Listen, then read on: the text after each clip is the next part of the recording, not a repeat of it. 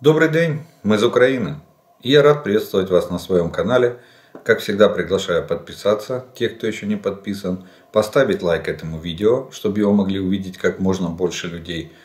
Ну и э, а мы с вами начинаем э, очередное видео по оперативной обстановке за прошедшие сутки.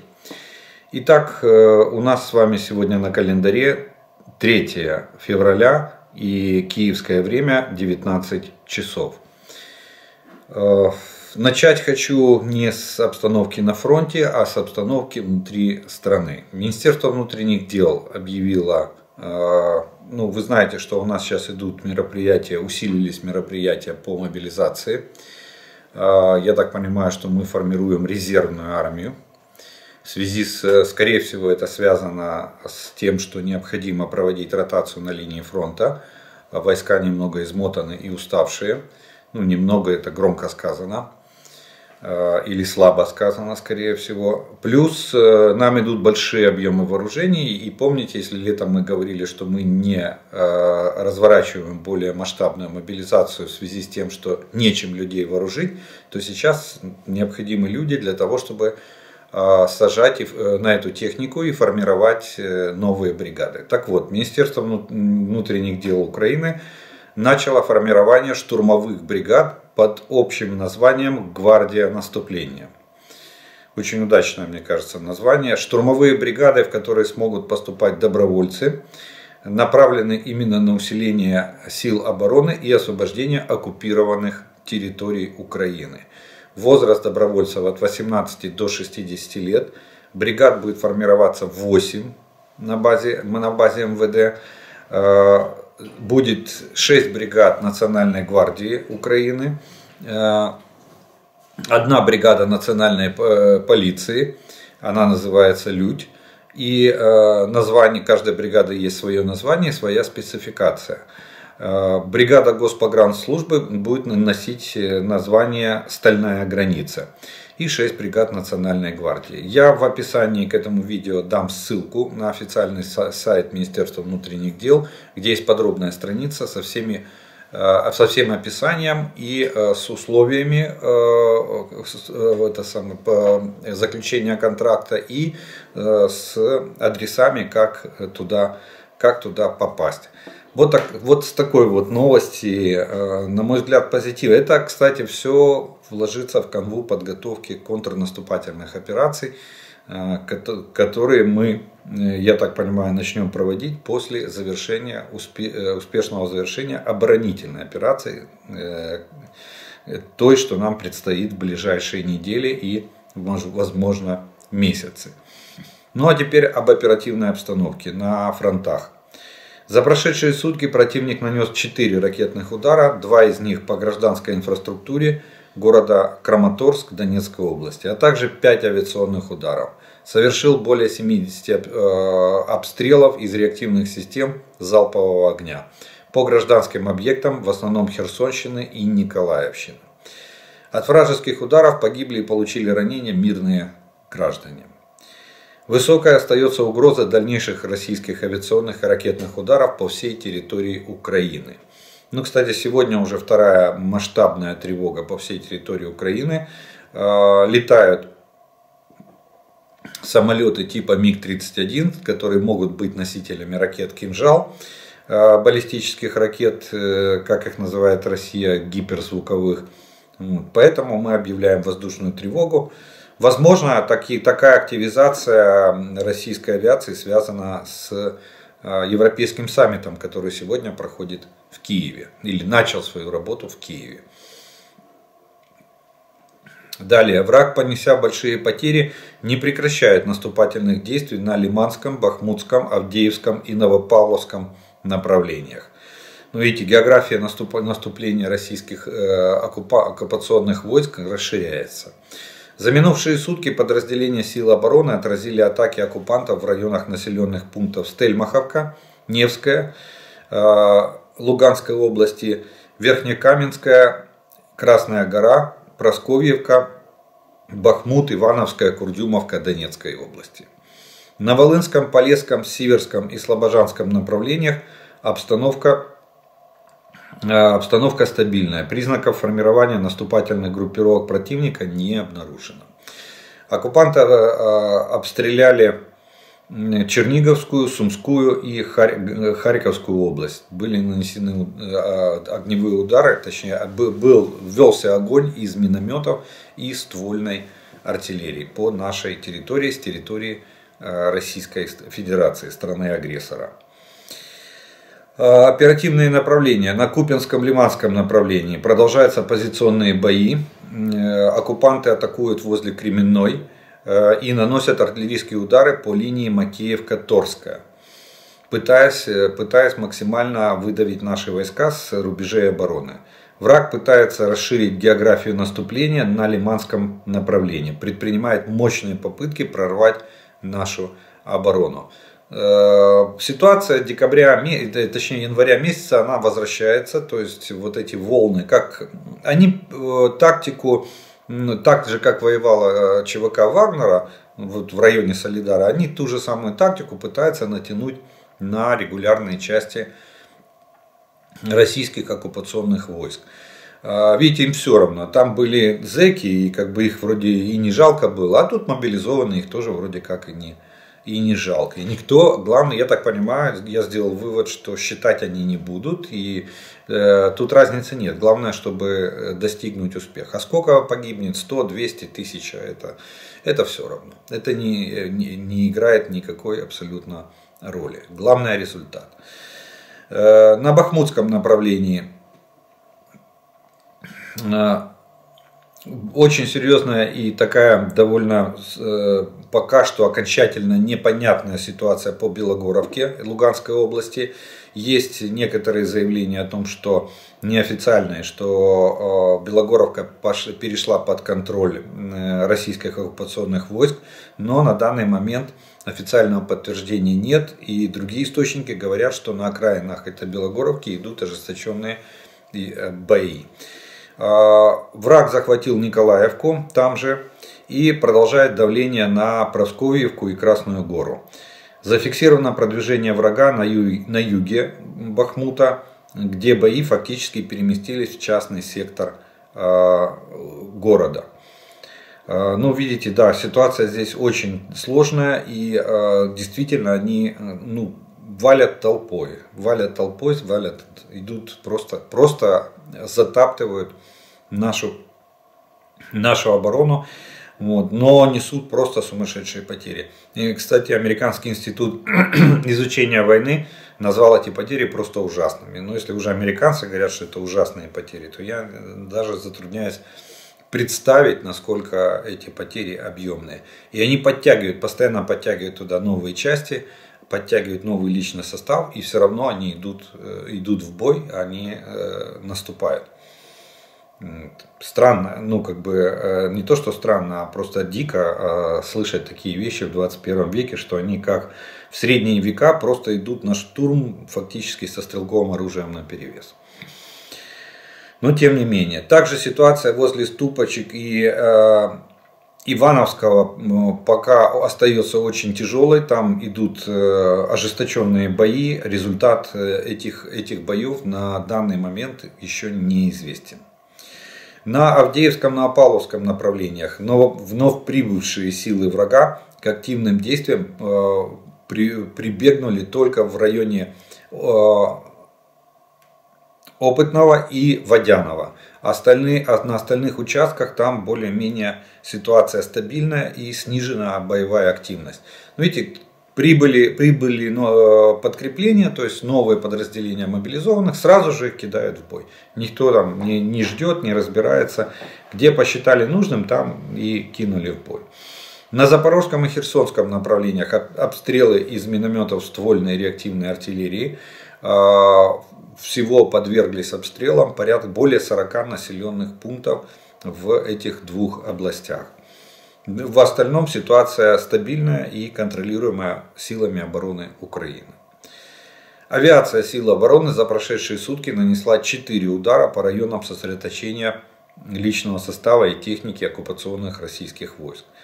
Также наши защитники уничтожили российский беспилотник типа «Мерлин». Я так понимаю, что Орланов уже стало, все становится все меньше и меньше. Промышленность не успевает их выпускать, если она их еще выпускает. Ну, думаю, что выпускает. И они стали использовать в качестве разведчика, стали использовать беспилотники типа Мерлин. А подразделения ракетных войск и артиллерии поразили пункт управления, три района сосредоточения живой силы и состав боеприпасов противника. То есть артиллерия тоже продолжает работать. Вот такие вот военные события произошли на всех оперативных направлениях и на линии фронта от Харькова до Херсона. Ну а теперь немножко о военно-политических событиях, которые происходят в Украине и вокруг нашей страны.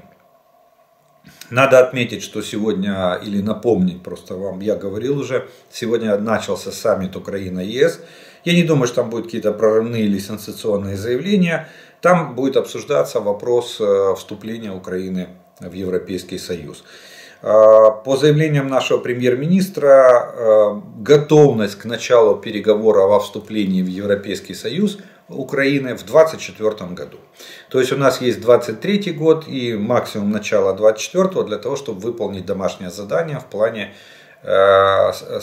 которое нам вот на этом саммите сейчас и будет согласовывать, э, согласовывать Европейский Союз. Кстати, все руководство Европейского Союза практически съехалось в Киев.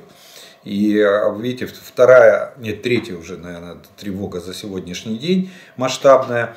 Э, ну, правда, самолеты взлетают в Беларуси, откуда э, ракетных ударов не было уже очень и очень давно. Ну, а также посмотрим с вами, чем закончится. Какую коммюнике. Кстати, интересный факт. Э, к лидерам Европейского Союза обратились, обратились с просьбой не, не одевать или не использовать в деталях одежды цвет камуфляжа в цвет, цвет, точнее не цвет камуфля, цвет хаки. Цвет хаки у нас носит только президент э, Зеленский. А, это его, он сделал это повседневной одеждой, но это логично, страна находится де-факто в состоянии войны, и президент э, носит э, элементы одежды цвет, цвета хаки, вот, подчеркивая то, что он верховный главнокомандующий и страна воюет.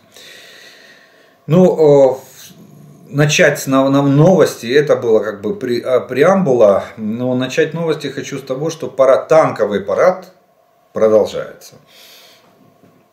Великобритания выкупает э, бронетранспортеры, будет выкупать в Бельгии бронетранспортеры для Украины.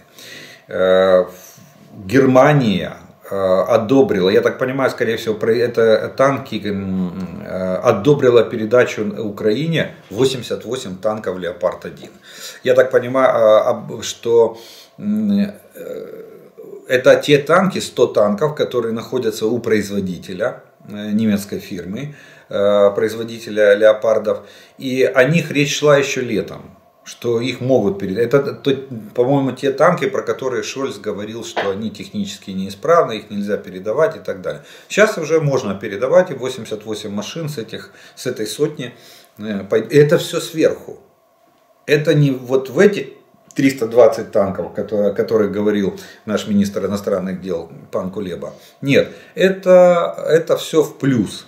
И бельгийские бронетранспортеры это что? Это все тоже в плюс а, к тому, что мы с вами насчитали 321 машину, э, та, именно танков, 321 танк из пакета согласованного на Рамштайн-8.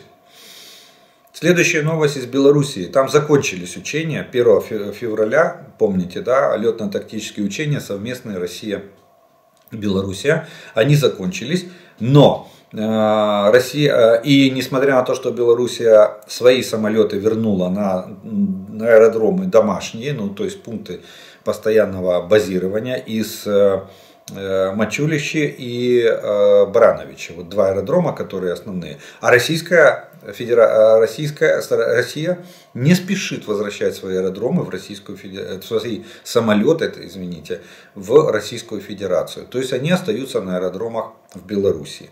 Вот. И вот эти самолеты, они сегодня нам и мотают нервы, э, э, ну, в частности МиГ-31, вот с этими якобы ракетами «Кинжал», они то взлетают, то садятся. Естественно, когда они взлетают, мы объявляем масштабную тревогу, понимая, что пуск может быть осуществлен в любой, э, это самое, в любой момент. На Кинсбургской косе вот задавали вы вопросы и пришла новость э, и пояснение. На Кинсбургской косе э, вооруженные силы Украины накрыли э, опорный пункт оккупантов. Есть потери в технике и личном составе. Ну, дело в, вот в чем. Дело в том, что это, кстати, а, кусочек Николаевской области, это коса, Кенбургская коса относится к Николаевской области. И вот почему нельзя сказать, что Николаевская область освобождена полностью. Э, а удержать эту косу невозможно. Почему? Потому что со стороны левобережной части Херсонской области она имеет, это полуостров. А, если так географически брать. И Российская Федерация заезжает туда по суше, завозит машинами туда оборудование, вооружение, личный состав и пытается строить там опорники и с этой косы наносит огневые удары по Очакову и его окрестностям. Вот наша а, а, арта отработала в том плане, что как только они построили и начали бить по Очакову, мы нанесли, вычислили и это же надо было еще поймать на позициях и нанесли ответный, ответный удар. Так что контрбатарейная борьба и плюс поражение противника на позициях э, отработано на отлично, то есть успешно. Э, надеемся, что какое на какое-то время обстрелы Очакова интенсивность снизится. Э, если, ну, не сомневаюсь, что они будут накапливать эти силы, но тем не менее, но тем не менее мы будем в готовности нанести следующий удар, как только силы будут накапливаться. Еще одна новость из Белоруссии э, пришла, точнее из России, из России, страны-агрессора. Э, Российская Федерация закончила обучение белорусских специалистов на э, использование ракетного комплекса «Искандер». Анонсировалось давно, еще летом, анонсировал Лукашенко, что Россия передаст комплексы «Искандер» в состав вооруженных сил Белоруссии. Для нас это тревожный звоночек. Объясню почему. Потому что баллистические ракеты комплекса «Искандер» летят на дальность до 500 километров. А, довольно проблематичны в их перехвате и сбитии. Вот. Ну и появление комплекса «Искандер» в составе вооруженных сил Беларуси, конечно же, для нас создаст дополнительные риски. Хотя обучение закончилось, но пока что передача, а, разговор о передаче ракетной бригады Э, Искандер от, э, из состава ВС России в состав ВС Белоруссии не, речь не идет. Но тем не менее белорусы сегодня приступили к полной самостоятельной эксплуатации оперативно-тактического ракетного комплекса «Эскандер». Возможно, это будет передана та, та бригада, которая э, сегодня находится в Беларуси и стоит вдоль границы российской, украинско-белорусской границы со стороны Беларуси. Возможно. Далее, Израиль. Очень интересная новость. Э, Все-таки переломилась. Видите, тенденция пошла, пошла в нашу пользу. Видимо, визиты представителей американского политикума и спецслужб все-таки помогли Израилю пересмотреть позицию в отношении военной и технической, военно-технической помощи Украине. Премьер-министр Израиля Беньямин Нетаньяху рассматривает возможность передачи Украине военной помощи э, оборонного характера. Это может включать и системы ПВО типа «железный купол». Об этом нам сообщает CNN. Очень хорошая тенденция. Ну, там, э, если правительство сейчас пересмотрит, а у них, в принципе, в Израиле большинство населения настроено на то, чтобы поддержать Украину, так что не равен час мы можем получить от них оборонительные системы вооружения. К оборонительным относится, в первую очередь относится ПВО. А, ну, я уже говорил, что Великобритания выкупает у Бельгии э, бронетранспортеры. А, есть, э, есть новость о том, что появилась, точнее, новость о том, что Швейцария нашла выход, как как передать нам вооружение, но при этом не нарушить свою конституцию, в которой четко и ясно, как они говорили, написано, что они нейтральная страна. Швейцария за символическую плату продаст свои танки э, Польше, Словакии и еще там кому-то, по-моему, Чехии. Э, для того, чтобы они... А дальше они могут распоряжаться этими танками. Ну, там идет намек на то, что дальше они могут передать эти танки Украине. Но сам факт, что Швейцария э, их за символическую стоимость, ну, в качестве примера можно вспомнить, как создавался Конкорд. Э, когда, когда Конкорды были построены на заводе, их передача французской эксплуатационной компании осуществлялась на основании договора купли-продажи. Цена одного Конкорда была, э, по-моему, один франк. Или один фунт, фунт, извините. Британия, э, Великобритания продавала Франции Конкорды по одному фунту за штуку. Э, это было просто, надо было таким образом переоформили. Вот то же самое сделала сейчас Швейцария. Видимо, почитали историю и решили продать танки. За сколько, я не знаю, может за швейцарский франк, ну, может там за 100 франков или за 1 евро. Но с прицелом того, что эти танки могут оказаться в Украине. Опять же, это, это сверхпакет, о котором мы говорили э, ранее. Следующая новость э, э, – это подтверждение тенденции того, что опять э, сейчас идет, на мой взгляд, вторая волна обучения, набора наших военнослужащих на обучение в странах-партнерах. Ранее Европейский Союз заявлял, что они хотят, помните, они говорили где-то осенью, что они готовы учить наших военных.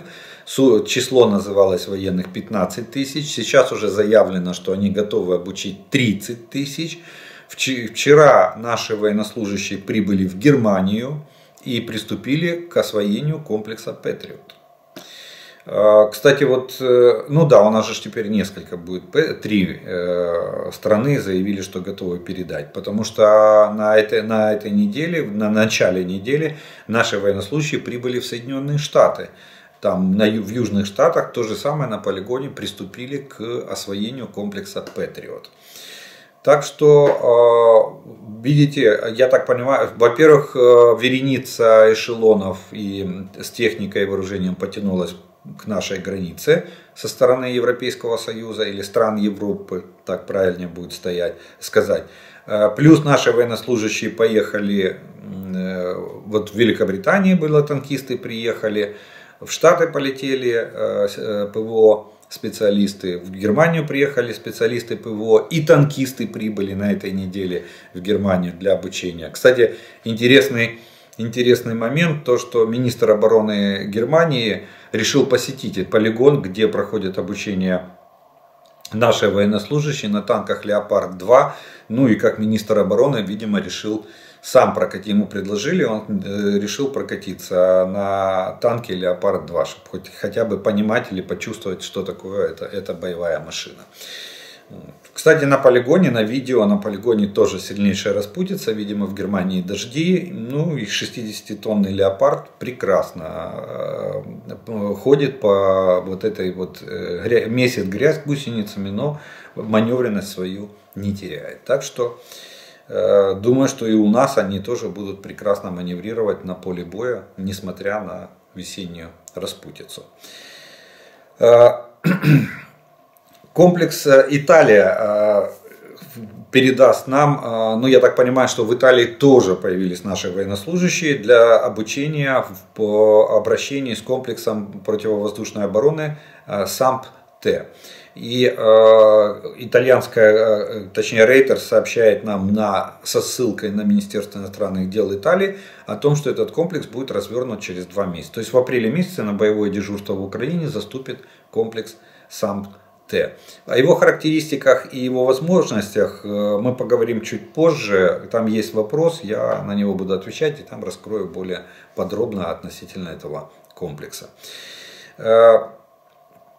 Э, ну и э, в конце ягодка на, на торте, как бы на пасашок, но новости из, военно, из военно-политических я хотел процитировать Анджея Дуду, это президент Польши, он высказал такую цитату.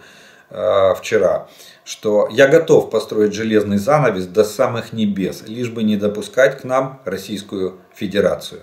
Пусть Россия оставляет себе свой русский мир, если он им нравится. Нам он не нравится, сказал Дуда во время визита в Ригу э, в четверг 2 февраля. То есть, то есть вчера. Вот э, на такой новости, я думаю, что нам тоже на, надо, надо это взять на вооружение, и э, я имею в виду в плане железного занавеса, потому что, ну, пока там не сменится несколько поколений, пока не, пере, не пройдет перерождение нации для осознания всего, всей тяжести тех преступлений военных, которые они совершили, э, а я считаю, ответственность за, лежит на плечах каждого. Почему? Потому что они э, вырастили Путина, они его создали, они за него голосовали. Сочиняли там песенки про Путина, что он может все что угодно, все чего не может Путин, не может быть. Помните, как они там всей страной бегали и пели ее на каждом углу.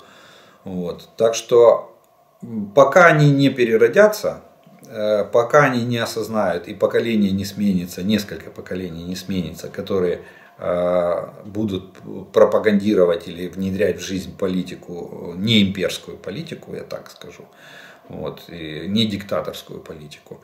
До тех пор, да, железный занавес до небес. Э, как, как, как говорили, шестиметровая бетонная стена с колючей проволокой и широкий ров с крокодилами. Вот это наш вариант. Так что вот такой вот. Ну что ж, на этом мы первую часть нашего видео закончим. И э, я по традиции сделаю паузу. У вас есть время подписаться на мой канал, для тех, кто еще не подписан. Поставить лайк этому видео, если оно вам нравится. Тогда его смогут увидеть большее количество людей. Ну и через некоторое время мы с вами продолжим.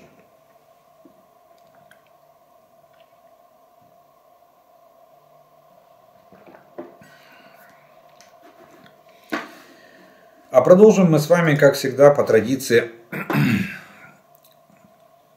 э, по традиции ответом на те вопросы, которые вы прислали. И первый вопрос сегодняшнего дня, он немножко, э, немножко конспирологический. Он звучит следующим образом. Расскажите, пожалуйста, что такое УВБ-76 в радиоэфире? А то много противоречий, э, противоречивой информации ходит с интернета. И относится ли оно к периметру? Ну или э, помните система мертвая рука? Я вам вчера объяснял об этом. Э, что такое УВБ-76? УВБ-76 коротковолновая станция, которая вещает на коротких волнах, покрывает весь земной шар. Ее можно на частоте 4600, по-моему, 32 Гц. В частоте могу ошибиться, но примерно где-то э, в этом диапазоне. В Википедии можете посмотреть точную частоту и убедиться, что она до сих пор вещает. Э, найдя приемник с КВ-диапазоном и э, это, настроившись на эту, на эту частоту. Очень загадочная вещь, вещь, которая никем никогда не объяснялась. Она вещает со времен Советского Союза, со времен Холодной войны. По-моему, в 1972 году она начала вещать. Э, несколько станций вещали эту информацию Впоследствии изначально все было засекречено, никто даже не знал откуда место вещания. Сейчас несколько станций было рассекречено и закрыто. По некоторым оценкам вещает одна, ну максимум две станции. Одна, по-моему, в районе Санкт-Петербурга, другая где-то там в центральной части э, Российской Федерации, то есть ближе к Уралу, но на европейской стороне. В чем как бы загадочность этой станции? В том, что а, ее называют жужжалка, она такое передает как бы жужжание в эфир. И э, информация этой станции полная абракадабра. Полная. Там на, э, вот это жужжание э, иногда слышно голоса на фоне жужжания там где-то в глубине. Ну вот как будто, знаете, идет там сигнал в эфир. И, опера... и диктор встал и отошел от стола и разговаривает со своим другом. И вот эти голоса слышно в микрофон, что он как будто бы включен. Понять, о чем они говорят, невозможно, но голоса э, различаются, что это несколько человек ведут разговоры, ходят, э, что-то там, какие-то предметы переставляют, наверное, потому что какие-то звуки. Но это на фоне жужжания. Потом жужжание э, резко, допустим, прекращается и идет какой-то набор букв, слогов и цифр. И никто не может объяснить, к чему это привязано. Потом опять жужжание возобновляется. И так это длится непрерывно, круглосуточно, с 1972 года. Я думаю, что, скорее всего, много теорий существует. Все теории конспирологические, сразу вам скажу, объясняющие, что это за станция. Но, на мой взгляд, э, человека военного, я думаю, что это может быть э, способ передачи информации для агентурной сети по всему миру. Э, какая криптография используется для шифрования сигнала, сказать очень трудно. Не помню, как называется, по-моему, Энигма, так фильмы называется. Есть, есть э, художественный фильм, есть документальный фильм о том, как Великобритания в начале Второй мировой войны э, расшифровывала вот эту машинку, кодировочную машинку немецкую, Энигма. И э, вот там именно эпизод, как подбирались коды, сколько может быть вариаций, вариантов, точнее, кодирования сигнала. Э, вот для понимания масштаба. Поэтому здесь то же самое. Может быть, никто не знает, никто, видимо, не занимался, а может и занимались западные спецслужбы. Ну, вот она продолжает, эта станция, вещать. Раз она продолжает вещать, э, хотя холодная война закончилась, и э, отношение, скорее всего, отношение к системе периметр или мертвая рука, как ее назвали американцы, это вот ответный, ответный Э, ответно-встречный ядерный удар, эта система не имеет. Объясню почему. Э, потому что э, система периметр ответного ядерного удара, когда погибли все, вот почему назвали американцы мертвая рука, что якобы из могилы раз и нажали кнопку. Она срабатывала на основе показаний сейсмодатчиков. То есть и если сейсмодатчики фиксировали э, колебания почвы, которые могли быть классифицированы как ядерный взрыв, тогда запускалась командная ракета со стационарных шахтных пусковых установок, так называемая командная ракета. Ракета, которая опрашивала другие шахтные пусковые установки, все, которые ей отвечали, она уточняла передачу им э, целей, то есть она или, или перенацеливание делала, она э, давала данные целей по приоритетности, то есть вот там первая или десятка или двадцатка была, вот она уточняла, закладывала именно эти цели и давала команду на пуск этих ракет в шахтных пусковых установках. Вот это называлась система периметр или американское название, или НАТО, пентагоновское, натовское название мертвая рука. Э, радиостанция, которая вещает на коротких волнах, она, э, ну говоря, одна из теорий говорит о том, что якобы если прекратится ее уничтожит, прекратится подача сигнала, то сработает система периметр. Нет, система периметр работает от командной ракеты. Вот так, как я вам рассказал. Так что, скорее всего, это радиостанция для передачи данных. Кому и каких, вот тут уже у каждого фантазия своя. Следующий вопрос. Возник еще один вопрос. Если можно, расскажите, э, или зрители знают. Попалось видео, как солдаты моют снаряды. Видимо, что это была солярка. На видео старая зенитная пушка вроде С-60. Снаряды к ней. Э, нет, это, э, смотрите, это, это стандартная процедура, это обязательная процедура. В артиллерии мытье снарядов, ну это самое моторошное, сразу как артиллерист скажу. Э, почему? Потому что, смотрите, на снаряды э, после изготовления каждый снаряд, каждая гильза проходит э, консервацию. И консервируется она специальной смазкой. Эта смазка в горячем состоянии напыляется, на, на, ну, напыляется, сказать, это сейчас современные высокие технологии, она напыляется тоненьким слоем. И может даже не, нет необходимости новые современные снаряды мыть. А раньше она обливался, снаряд фактически обливался или окунался в ванну с этой консервационной смазкой. Она застывает. По консистенции она примерно как пластилин. Такой пластилин, знаете, который на холоде, из холодильника достали, вот такой пластилин.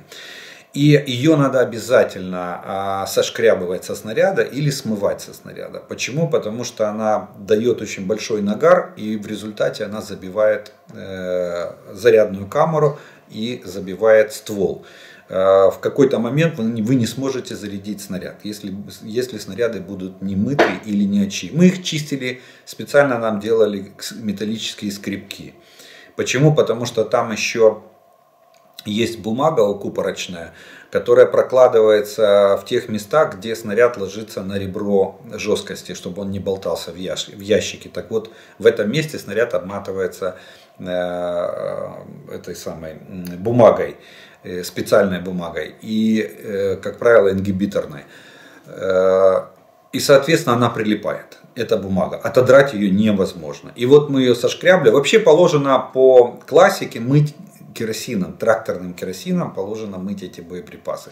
Но тракторный керосин это же дорогущее удовольствие. Поэтому, как правило, сливают немножко солярки с дизельных машин и э, тряпками моют. В зимнее время это, я вам скажу, что, наверное, самое не, самое не из приятных удовольствий мы, мыть снаряд. Но если ты их не помоешь, то орудие может просто заклинить. В какой-то момент ну, ну и дальше начинается соответствующая мышиная возня вокруг заклинившего э, затвора или заклинившего снаряда в стволе и так далее. Вот, э, вот почему они их моют. Современные технологии, видимо, позволяют напылять краску таким тонким, точнее смазку таким слоем. И, возможно, качество смазки такое, что она выгорает полностью. Так что вот такая вот картина ее моют. Чем старее снаряд или пушка, тем больше на ней консервационной смазки. А усиленную крышку на заряде, который предотвращает э, а, этот самый намокание пороха в гильзе, если раздельно гильзовое заряжание, то поверьте, его можно, ее, чтобы вытащить, надо на, ну, приложить усилия, либо использовать что-то вроде монтировки. Она вообще залита просто залита слоем, а с ней стрелять тоже нельзя, она не полностью сгорает в стволе при выстреле. Тоже надо ее удалять, усиленную крышку. Следующий вопрос. Тривалий час переглядаю вашу аналітику. Дякую за інформацію. Є питання. Як ви вважаєте, яким шляхом буде звільнена Запорізьку атомну електростанцію, якщо її, на її території організована оборона? А, никто в лоб штурм не пойдет. Я уже неоднократно вам говорил, что Запорожская атомная, ну, на мой взгляд, субъективный взгляд, но ну, на мой взгляд, ее надо просто, просто оставлять в тылу и все, она попадает в окружение. Если мы начинаем наступление на Мелитополь, Новую Каховку или даже ну, на Мелитополь, просто на Мелитополь, а Запорожская атомная остается, э, остается в окружении. Сколько там гарнизон продержится? И не, не надо будет даже стрелять. Дальше там переговоры, парламентеры, парламентеры и условия сдачи э, гарнизона. Вот и все. Вот это самый простой, самый быстрый, на мой взгляд, способ. Поэтому я думаю, что вооруженные силы Украины даже не будут отвлекаться на... Э, туда, конечно же, будут направлены войска, которые э, возьмут в осаду станцию. Вот. Но штурмовать, поверьте, никто не будет. А так как она останется в, глубоко, в глубоком тылу, э, в случае успешного прорыва наших войск в направлении Мелитополь, то э, либо гарнизон сам уйдет, чтобы не остаться в окружении, либо гарнизон окажется в окружении. Вот вам э, способ освобождения атомной станции. Вопрос. Расскажите, пожалуйста, о французско-итальянской системе САМП, ПВО САМП-Т. Чем она отличается от Patriot, какие ракеты может сбивать, сколько нам батарей пообещали, какие города в Украине она может прикрыть и что лучше может э, подойти для защиты Харькова, Patriot или сам Т. Ну, смотрите, я говорил уже, по-моему, неделю назад об этом, но повторюсь, раз задаете такой вопрос, я понимаю, что волнует. Система САМП-Т это европейский аналог Patriot. Они абсолютно э, идентичные. Только э, то американская разработка, а здесь разработка итальяно-французская. Э, передают нам один комплект, одну батарею, и к ней дают 700 ракет. Там, кстати, вопрос был, Италия дает, по-моему, комплекс, саму батарею, весь, весь комплект. А, еще он отличается тем, что французский, они есть два варианта. Есть французский вариант и есть итальянский вариант. Отличаются они, они шасси. Э, естественно, во Франции, во французской армии этот комплекс расположен на э, французском шасси грузовике, а в итальянском варианте он расположен на итальянском шасси. И вот, эти, вот этим они как бы между собой. И так вот вопрос был по ракетам спорным, кто будет. Италия дает комплекс, а Франция согласилась, согласовала с Италией, что вместе они дадут 700 ракет. В каком соотношении нам уже не важно, главное, что дадут. 700 ракет, 700 целей практически. Он а, может сбивать все, в том числе и баллистические ракеты, то, чего нам крайне необходимо. Это первый момент. Второй момент. Он может работать точно так же, как Patriot, может работать в системе, э, в режиме онлайн с космической разведкой и с авиационной разведкой. F-16, на, на которые мы очень сильно надеемся, могут работать в спарринге с этим комплексом в качестве э, перехватчиков и в качестве самолетов-разведчиков. То есть они могут обнаруживать и сообщать о воздушных целях, в том числе и баллистических ракетах, а могут перехватывать по наведению этого комплекса.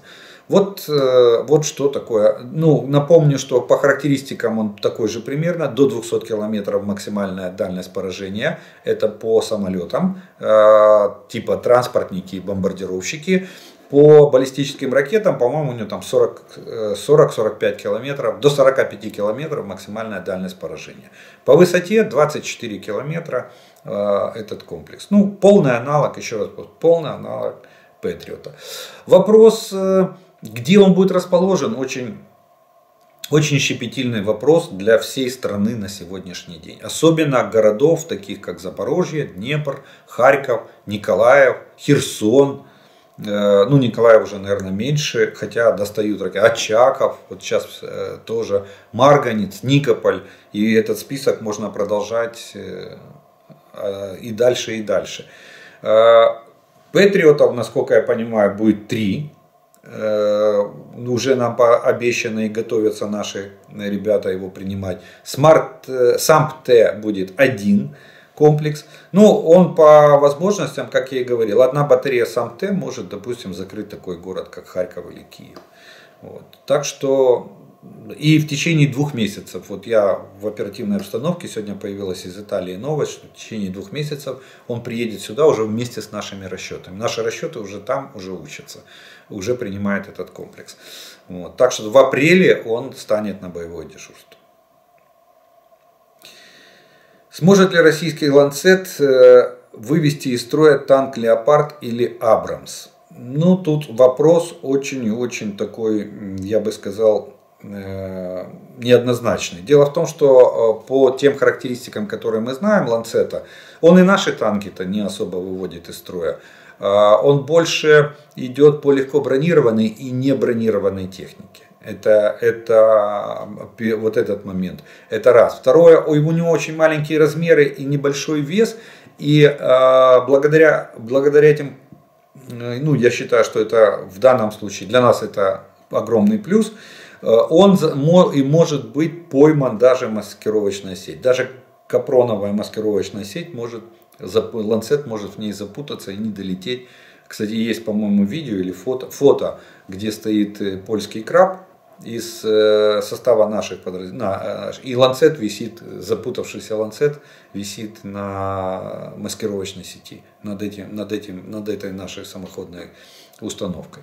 А, так что вопрос по танку это очень, э, это как, знаете, как э, гранатомет ручной, типа РПГ, он может, может теоретически, если попадет в нужное место. Точно так же, а сверху, ну, для ланцета мест довольно мало. Плюс, вы не забывайте, он хоть и управляемый э, э, оператором, но у него существует, есть такой хороший момент для нас, у Ланцета существует задержка видеосигнала. То есть он опаздывает там буквально на 1-2 секунды, что очень сильно осложняет оператору его наведение. Поэтому они предпочитают просто навести перекрестие на э, на цели и удерживать его, пока ланцет не попадет в эту точку, в которую показывает оператор.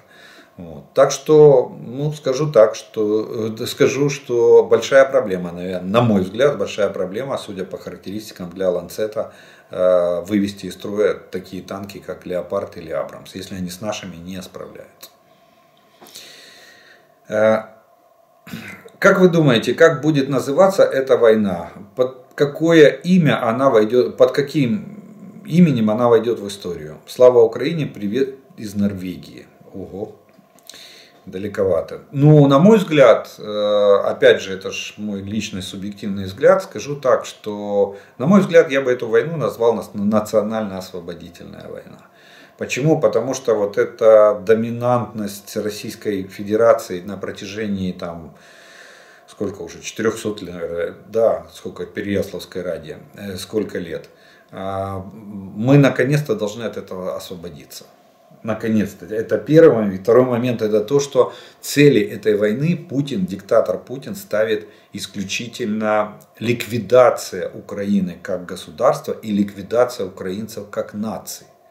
Подмена э, нас с вами, э, гражданами Российской Федерации, с последующим э, утверждением, так это же мы же один народ. И какая Украина? Ее Ленин придумал вот, э, в 18 году как когда-то Высоцкий пел, да, это все придумал Черчилль в 18 году. Это их худые черти э, колотят воду в пруду. А, что-то в этом роде, понимаете? Поэтому я бы назвал эту войну национально-освободительной. Как напишут историки, трудно сказать. А, почему? Потому что наша война имеет геополитическое, стратегическое значение для всего мира – мы, наша война сломала старый мировой порядок. Полностью сломала. Я не знаю, сколько еще просуществует ООН, э, она в аморфном состоянии, она разлагается и скоро уже будет, наверное, издавать нехорошие запахи. Поэтому от нее, скорее всего, скоро избавятся. Но э, в любом случае к старому миропорядку мы уже не вернемся никогда. И в мире сейчас идет борьба за создание нового миропорядка. Поэтому как ее назовут мировые историки, трудно сказать. Но я бы назвал национально-освободительной войной.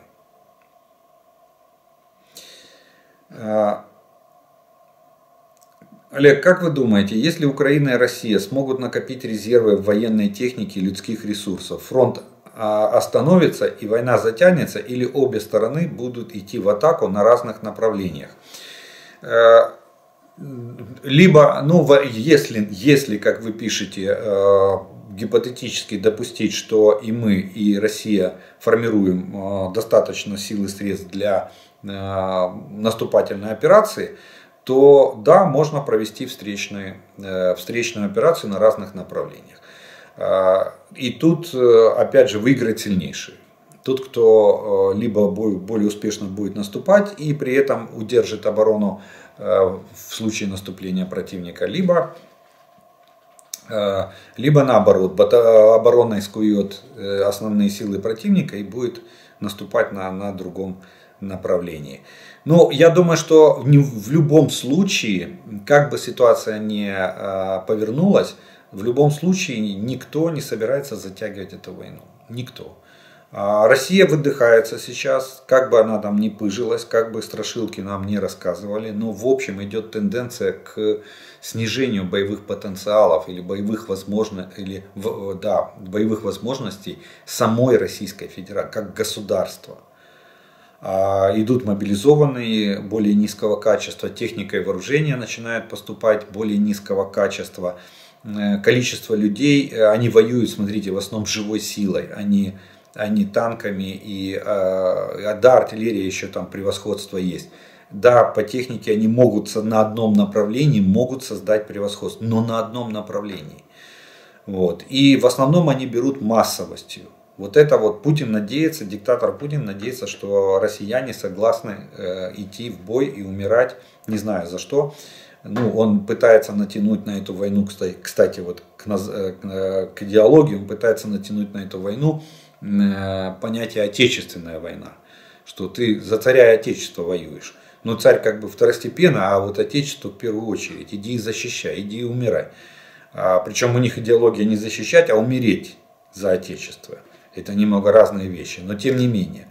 Вот. Поэтому, э, поэтому они пока что идут и умирают. Но сколько они еще будут идти умирать, сколько они согласятся на э, вот где этот болевой порог России – по потерям, когда общество скажет, ну подождите, э, сколько же можно умирать? Мы же не, ну, не, не безразмерная или не бездонная, не бездонная бочка, чтобы умирать десятками или сотнями тысяч человек плюс раненые, плюс и все остальное. Поэтому я думаю, что Россия не может затягивать. Э, поэтому Путин и пугает э, всех и вся. И, и, а чем он может пугать? У него, кстати, единственная пугалка осталась, это ядерная дубина. Вот. Ну а наши, мы и наши партнеры тоже не собираемся затягивать войну. Мы в любом случае, мы тоже несем потери. И нам не хотелось бы терять наших военнослужащих в этой войне. Поэтому мы давим на партнеров. И наконец-то, я так понимаю, плотина прорвана. И вот поток вооружения, он ринулся а, в Украину. И дальше он будет только наращиваться.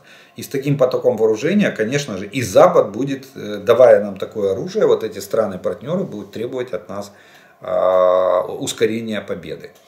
И буду, и буду ждать, когда она закончится. Посмотрите, уже пишут планы восстановления Украины. Поэтому я не думаю, что эта война может затянуться. Вы сказали, что теоретически возможен десант со стороны Беларуси. Э, но при этом вы, вы всегда говорите, что даже истребители не залетают к нам, так как их сразу, так как их сразу собьют. Так вот вопрос, если сверхзвуковые истребители будут сразу сбиты, то как могут э, даже теоретически прилететь вертолеты с десантом? Это же вообще легкая мишень.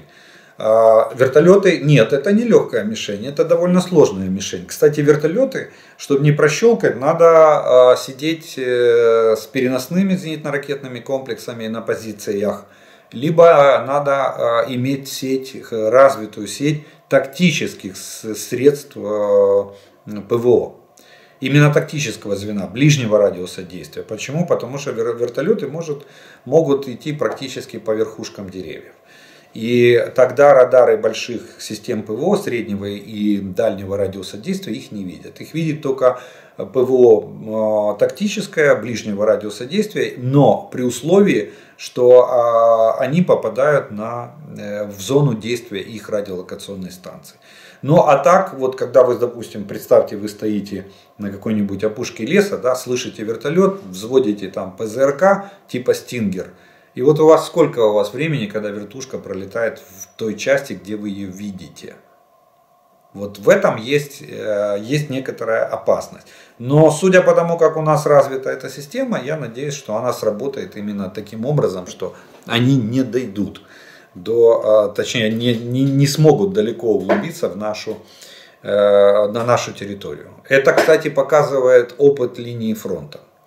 Вот на линии фронта там э, постоянно мы сбиваем их вертолеты. Поэтому я и говорю, что теоретически они могут прилететь, но практически я надеюсь, что наши силы обороны им этого сделать не дадут.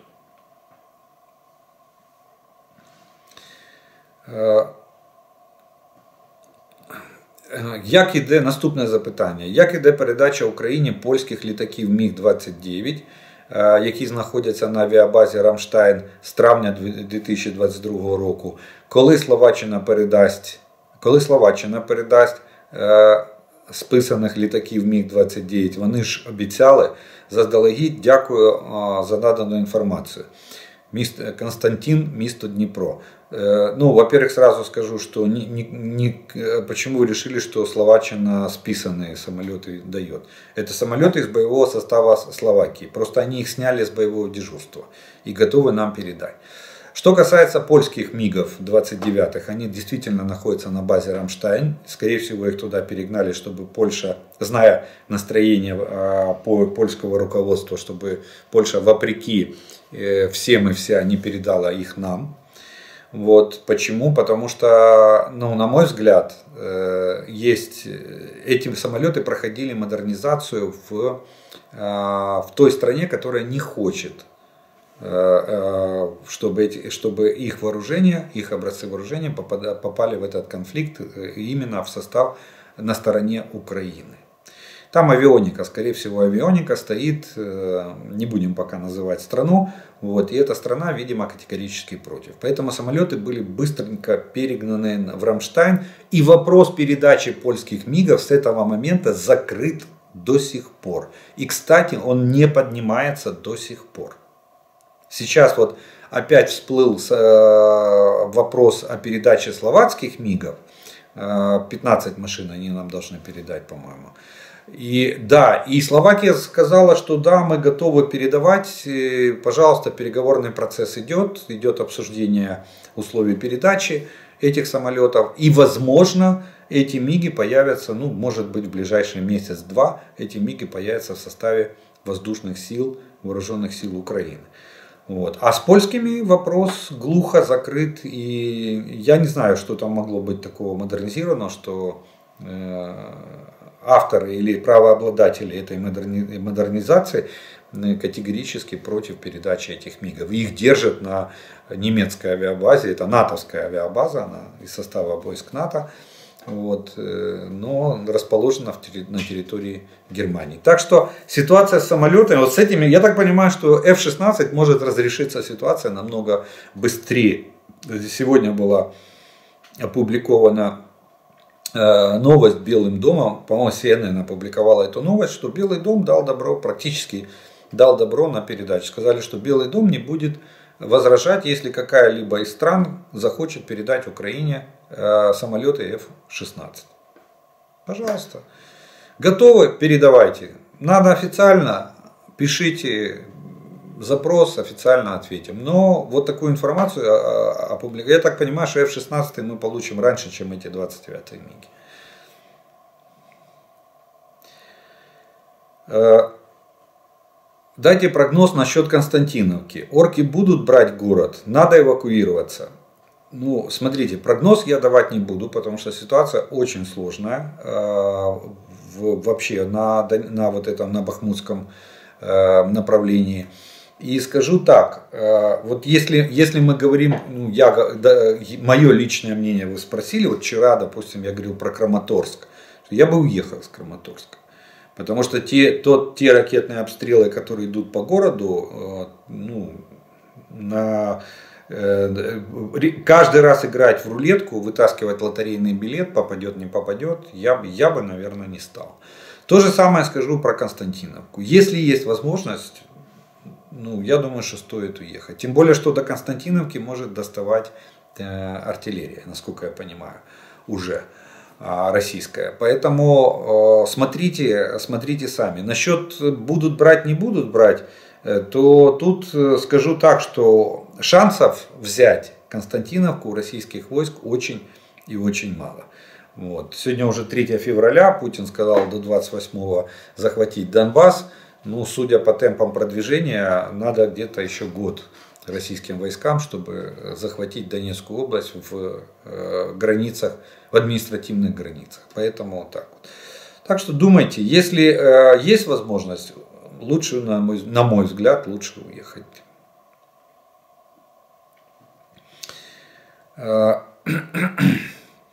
Є питання. Після вступу України до НАТО у нас на озброєнні будуть літаки F-22, F-35, геликоптеры Apache. Смотрите, я бы не привязывал это к вступу до НАТО. Вот я так скажу. У меня свое видение, ну вот лично у меня свое видение по поводу нашего членства в НАТО. Я очень в этом сомневаюсь. Я думаю, что мы останемся в статусе партнера с расширенными возможностями. Но я напомню, что на последнем саммите НАТО было принято решение, Йенс э, Столтенберг об этом огласил, что помочь, э, они, они сейчас создают полностью программу и будут помогать Украине пройти стопроцентное перевооружение на западные образцы вооружений. Им нужна Украина с хорошей, хорошо вооруженной, обученной, боеспособной армией. Почему? Потому что если опять имперские амбиции будут возрождаться, то кто будет воевать с Российской Федерацией? НАТО? Не. Посмотрите, где сейчас НАТО? НАТО стоит в километре, на пушечный выстрел не подходит к этому конфликту. Э, ну, я понимаю, с каких соображений, и где-то даже э, это, это оправдываю, и считаю, что правильно так, такая политическая позиция НАТО, чтобы не превращать войну в мировую. Вот. Поэтому и членство наше, а, на мой взгляд, под огромным вопросом. Но полное перевооружение, переход на стандарты, полная интеграция нашей армии и системы безопасности Украины в НАТО, да, она не то что возможно, она будет осуществлена. После нашей перемоги она будет полностью осуществлена. Естественно, у нас появится в составе вооруженных сил Украины, могут появиться F-22, F-35. Причем один без другого не может. Кстати, вот как F-15, F-16, они э, парные самолеты для друг друга для, они создавались. Также F-15, ой, F-35, F-22, они тоже парные самолеты. Поэтому, э, ну и Apache тоже появятся. И Абрамсы с э, броней из объединенного урана тоже появятся. Поверьте, появится все. Может появиться еще и наша отечественная, типа э, Борисфена, оперативно-тактического ракетного комплекса, или Сапсана. Как, как мы его назовем, это уже не важно, но он у нас будет. И с дальностью пуска не 500, а 1000, может быть и 2, и 3. Сейчас нет ограничений на среднюю дальность. До 5500 можем смело клепать любой ракетный комплекс, а у нас э, и технология полностью есть, и конструкторское бюро есть. Е, ну і ще один вопрос: чи є шанс у нашої країни відновити статус ядерної держави? Це ж найкраща гарантія безпеки України. Южноукраїнськ передає вітання. Нет, скажу сразу, нет. И здесь я почти уверен, что никто не даст нам постановить статус э, ядерной державы. Почему? Потому что клуб не будет расширяться. Это раз. Даже на нашей территории не будут, э, НАТО не будет держать ядерное вооружение. А объясню почему. Потому что э, мы будем являться буферной зоной. Тактическое вооружение всегда можно будет привести, э, доставить в любой момент, если такая необходимость будет. Это не проблема в любой войне, даже вот сегодняшней. Э, допустим, переместить, я имею в виду технически переместить заряд. Не, не, не подумайте, что завтра уже везут там или Россия уже везет. Нет. А, ядерный боезаряд. Но технически, тактическое нет проблем. А стратегическое лучше применять с большого расстояния. А, потому что, ну вот, допустим, МБР, межконтинентальная баллистическая ракета, минимальная дальность пуска 6000 километров. То есть ближе ставить ракету невозможно, она не полетит ближе. Вот. Поэтому это раз. Второе, э, э, ну, и э, для, для того, чтобы возродить ядерный статус, нам надо стать вторым Израилем. И ни от кого не зависеть. Хотя Израиль, как выясняется, сегодня и очень даже зависит от Соединенных Штатов. И тоже трудно сказать, насколько они самостоятельны в военном отношении, в политическом или финансовом. Вот. Поэтому э, тут не нам решать. Вот, вот что еще обидно и что еще надо признать как факт. На сегодняшний день 30 лет мы грабили страну, и она ослаблена настолько, что мы зависим на 150% мы зависим от наших стран-партнеров.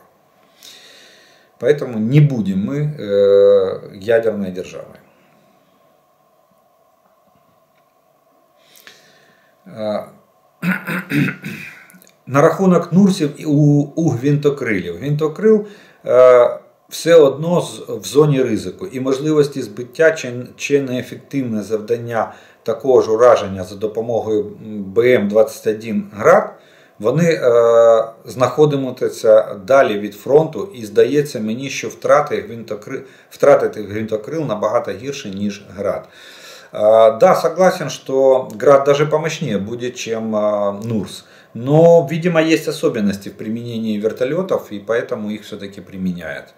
А, на, на, видимо, не всегда есть возможность применить систему ГРАД в том или ином месте. А вертолеты, которые дежурят э, на аэродромах подскока, могут это сделать в течение там, нескольких, ну максимум десятков минут, э, подлететь и нанести, нанести удар. Насколько он эффективен, это уже Э, показывает сам бой. Попало, попали летчики, не попали. И судя по тому, как мы наблюдаем на видео, э, как они кабрирование проводят, то я бы не сказал, что они в зоне риска. Они довольно далеко от переднего края, после чего он выпускает тепловые ловушки, разворот и сразу же уходит в глубину территории.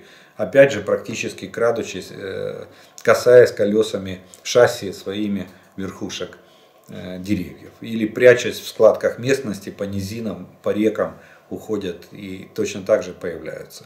Кстати, в этом и тактика применения вертолета в огневой поддержке, когда он идет практически по земле, а потом делает горку, выскакивает, наносит удар, опускается и уходит. Сейчас он не выскакивает, сейчас он просто задирает нос, наносит удар, разворачивается и уходит. Каждое оружие имеет свой, свой, свою эффективность. Я думаю, что в этом случае э, применение вертолетов, даже с учетом рисков, оправдано. И, видимо, оно необходимо. Поэтому они и применяются. Э, Знают ли наши военные, откуда ведутся обстрелы Славянска и Краматорска с установок С-300 и Искандер? И почему они не уничтожают эти установки с помощью противорадарных ракет ХАРМ с наших э, истребителей? Ну, давайте так, э, по порядку. С, э, точнее, Искандер установки. Дальность пуска Искандера 480 километров гарантированная, до 500. Вот мы говорим, 500 километров. Искандер может находиться на таком удалении от Краматорска. Может на 300 стоять. Туда ракета не достанет. Харм ракета 150 километров дальность.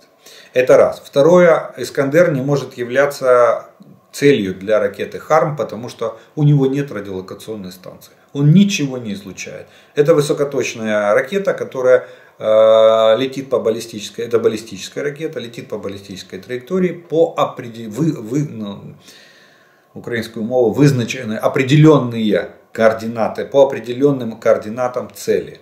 Они делают расчет, вносят поправки, и ракета на первом участке, активном участке траектории корректируется, и дальше летит как свободно брошенное тело по баллистической траектории. И попадает. Надеюсь, объяснил, что ракета Харм никак не может достать Эскандер. Что касается С-300, то тут огромная проблема в том, что да, С-300 стоит где-то рядом с линией фронта, километров 20-30 от линии фронта. А, почему? Потому что общая дальность где-то 100, ну максимум 120 километров. Это ракетами, старенькими ракетами, а, если их переделать в класс Земля-Земля. А если э, ну, С-300 не используют новые ракеты для 400 комплекса, они на 200 километров летят, даже больше, там 200-250. В классе, в, точнее не в классе, а в варианте Земля-Земля. Но для того, чтобы поразить С-300 э, ракетой Харм, надо поймать ее на позиции. Понимаете? Надо, надо совместить обстоятельства того, чтобы самолет с ракетами был в, на, будем так говорить, на позиции в воздухе, да, в каком-то квадрате определенном, готовый к, э, к пуску ракеты. И тут раз, включилась радиолокационная станция, она засветилась, да, летчик делает боевой разворот, заходит на курс цели и делает пуск ракетой. Ура! Э, ракета попадает в радиолокационную станцию, но не в пусковую установку. Вот. А, э, а пусковая установка в этот момент может свернуться и уехать. Потом они берут другую РЛС и она опять подсвечивает. У нас было пару таких э, серьезных э, накрытий комплексов С-300 в районе Такмака. Вот когда по Запорожью они лупили, вот тогда мы там их хорошенько накрыли. Но там это было осуществлено с помощью разведки. Разведка поймала выдвижение и а, артиллерия успела отработать и быть готовой к нанесению удара, как они только развернулись, мы их накрыли. Вот в, только в этом случае ракета Харм РЛС-ку накроет, но надо поймать. Вот в этом как бы тут кошки-мышки, к сожалению. Вот на, в этом и война. Кто кого перехитрил, тот, тот и, и, и на коне. Ну что ж, на этом вопросную часть мы будем с вами заканчивать на сегодняшний день, в сегодняшнем видео. И у нас остается с вами третья часть, это ваши комментарии, приветствия и пожелания, которые вы прислали предыдущим видео. И первый, а, и первый комментарий будет из Грузии в сегодняшнем видео. Это и звучит он таким образом, из Грузії, но українською мовою. Більша частина населення Грузії за Україну. І їм ганьба за їх уряд. Звичайні грузини підтримують українців. Я согласен, что они нас поддерживают, но опять же вопрос, э, они не борются за свою свободу. они, да, это как было как в Советском Союзе в застойные времена. На кухнях все мыли кости Брежневу и э, Политбюро ЦК. Анекдотов ходила, э, ходила куча по, на эту тему. Ну, никто не выходил на митинги и демонстрации. Вот в чем отличие. Кстати, Украина в этом плане, наша страна уникальная. Мы уникальная нация. Мы единственные, ну, э, по-моему, таджики еще или киргизы э, майданили несколько раз, там тоже меняли меняли Владу. По-моему, Киргизия, да. Вот. Э, точно так же, как Украина. А так, я не видел, чтобы Майданы были. Грузия, да, была попытка революции РОС. но вы получили результат. Почему же вы не пошли дальше? Почему вы не, не, не вышли опять на площадь? А то, что вы нам сочувствуете, мы в этом не сомневаемся, мы это понимаем и это приветствуем. Но но. Э, следующий комментарий. Русские это, э, это не народ, это не, не, не люди и фашисты. Украинцам нужно четко понимать, Россия достаточно э, четко определила свои цели спецоперации. И это уничтожение Украины. Война до конца. Или мы их завалим, или они нас. Украина и украинские земли не могут быть предметом переговоров. Только полное освобождение наших территорий – залог нашего успеха. Кстати, да, кстати, появилась информация о том, что якобы вот договоренность была, почему там решение по танкам задержалось на два дня позже после Рамштайма, что якобы, якобы директор ЦРУ тайно посещал Москву, где предлагал Путину э, мир в обмен на территории. То есть мы уступаем территории, Путин прекращает войну. Так вот, э, я вам скажу, что э, Олаф Шольц в своем заявлении по поводу поддержки Украины сказал такую очень интересную фразу «дыма без огня не бывает». Вы же понимаете, политики всегда вкладывают двойной смысл. Надо искать второе дно, открывать его и смотреть, что там лежит. Так вот, э, Шольц сказал, что не может быть никаких переговоров по Украине без Украины. И я так понимаю, что напряжение в высшем политическом истеблишменте настолько возросло, что вчера Белый дом в лице президента США э, Джо Байдена вынужден был оправдываться. И Джо Байден сделал официальное заявление, что никто, особенно директор ЦРУ, не посещали тайно Москву. Никто не предлагал России мир в обмен на территории Украины. Так что э, тут в этом плане очень приятно слышать, что э, Никто не собирается торговаться нашими территориями, ну а мы э, воюем за свою свободу и независимость. Э, уважаемый Олег Владимирович, уверяю вас, грузинские легионеры, воюющие в Украине против расистов, в Грузии никак не на уровне врагов, разве что в глазах пока что действующей власти. Так вот это самое главное. Я это имел в виду, понимаете, что люди их любят и, и уважают, и почитают, но власти их арестуют и могут предать суду и посадить э, в тюрьму по абсолютно надуманному. Вот я что имел в виду. Власть определяет э, статус. Для нас, граждан Грузии, для большинства они герои. Мы прекрасно понимаем, что в Украине сейчас идет война и за нашу свободу, свободу Грузии. Мне бы очень хотелось, чтобы моя страна помогала Украине всем, чем могла бы. Радует, что граждане э, донатим как можем на помощь вооруженным силам Украины.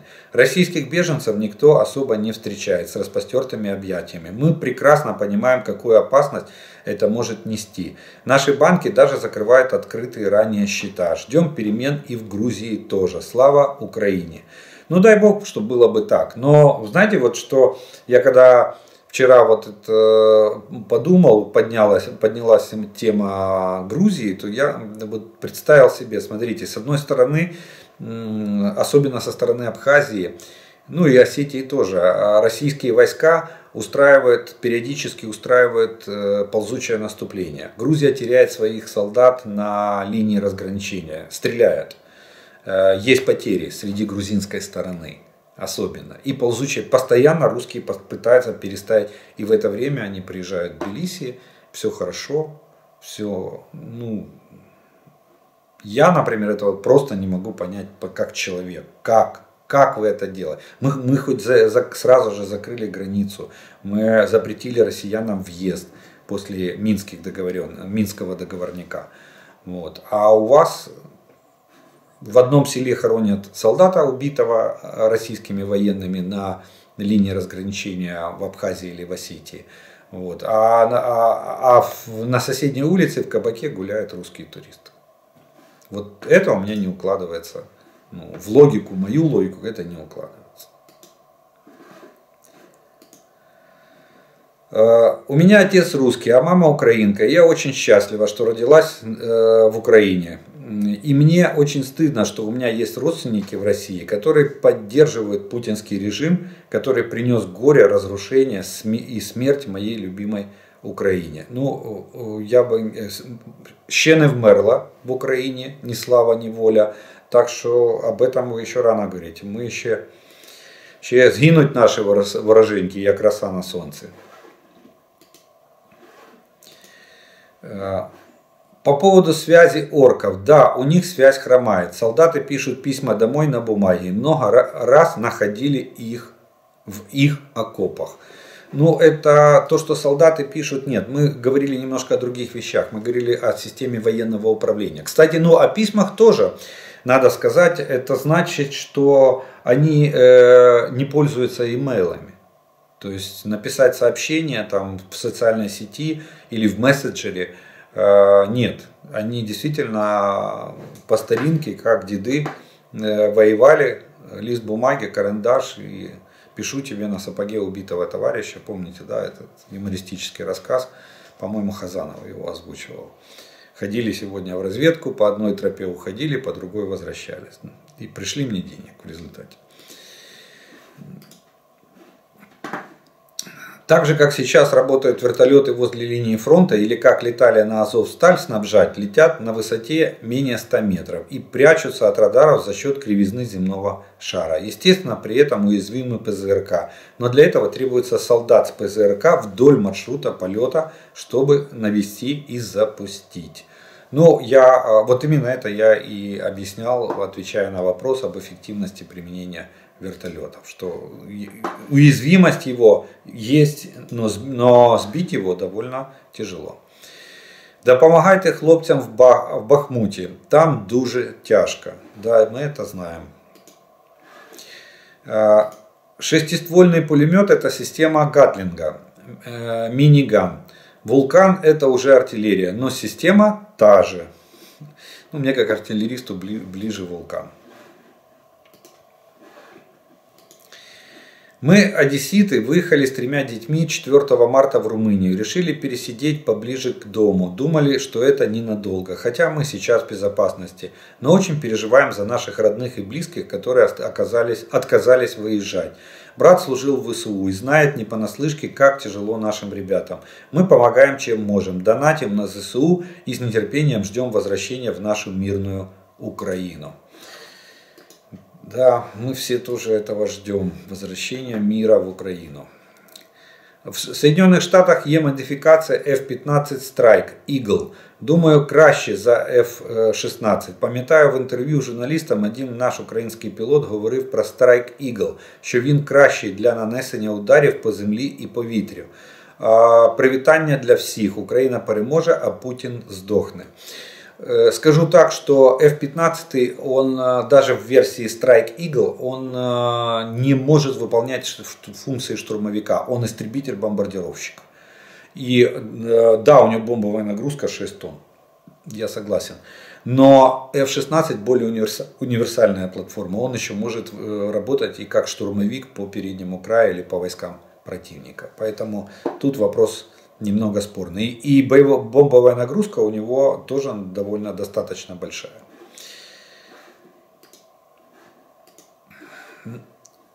Ну и на еще одна на пассажок. О, тут э, два вот этих э, комментария именно по авиации. Я понимаю, что авиация в как и танки, у нас месяц мы обсуждаем танки, э, так и авиация сейчас на ближайший месяц станет у нас основной темой.